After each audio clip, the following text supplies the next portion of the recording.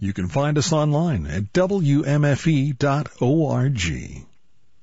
This is Central Florida's NPR news station, 90.7 WMFE FM, Orlando, Daytona Beach, Melbourne, and streaming online at WMFE.org.